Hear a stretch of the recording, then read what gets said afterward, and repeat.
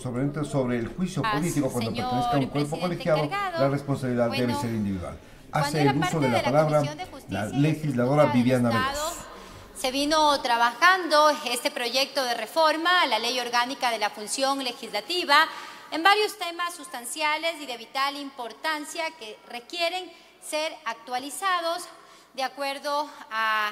varios asuntos en lo que tiene que ver en el control político, en la fiscalización, el comité de ética, las sanciones también para los asambleístas que acostumbran a cambiarse de partido político o de la bancada que han sido parte, que también están aquí incluidos dentro de este proyecto de reforma, porque si queremos fortalecer la democracia, debemos evitar estos camisetazos políticos que tan solo disminuyen la confianza y la credibilidad de los ciudadanos hacia la primera función del Estado. De la misma forma, también varias reformas para poder subsanar algunas lagunas normativas en lo que tiene que ver en referencia a los procedimientos para los enjuiciamientos políticos y así también eh, varios asuntos en lo que concierne al Consejo de Administración Legislativa, entre otros. Pero dentro de este proyecto de reformas eh, quisiera que a través de la anuencia de quien viene acertadamente conduciendo esta mesa legislativa, la Comisión de Justicia y Estructura del Estado, el doctor Fernando Cedeño, mi compañero y colega, quisiera proponer también que dentro de este proyecto se pueda incluir unas observaciones. La primera es que se reforme la disposición especial primera en el siguiente sentido.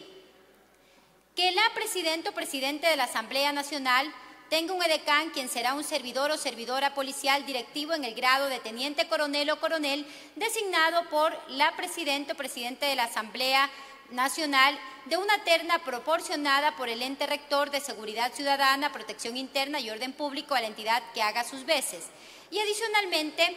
también que se reforme la disposición especial segunda con el siguiente texto, que la escolta legislativa de la Policía Nacional estará a cargo de un servidor o servidora policial directivo en el grado de coronel la escolta legislativa de la Policía Nacional tendrá como misión fundamental atender en el recinto legislativo la seguridad de las y los asambleístas, el personal asesor, los funcionarios, empleados, visitantes e instalaciones de la Asamblea Nacional estará a órdenes exclusivas de la presidenta o presidente de la Asamblea Nacional. Y también una tercera reforma, la disposición especial tercera con el siguiente texto, que los honores en ceremonias o sesiones oficiales de la Asamblea Nacional sean coordinados y ejecutados por la escolta legislativa de la Policía Nacional y la Coordinación General de Protocolo de la Asamblea Nacional. Igual consideración se tendrá cuando estas ceremonias a sesiones se realicen en un lugar distinto a la ciudad de Quito, sede oficial de la Asamblea Nacional. ¿Por qué hacemos énfasis que debe ser los servidores de la Policía Nacional? Porque actualmente, si ustedes revisan en la normativa vigente, allí eh,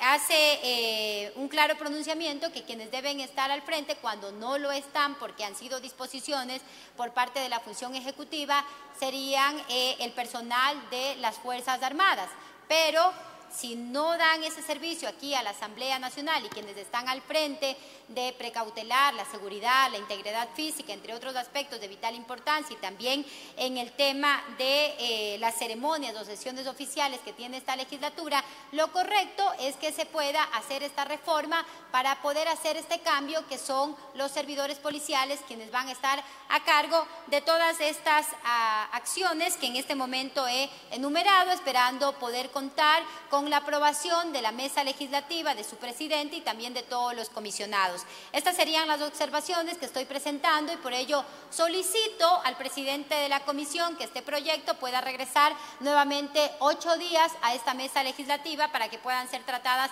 estas observaciones y aportes que están presentando también hoy en el debate otros colegas asambleístas. Muchas gracias.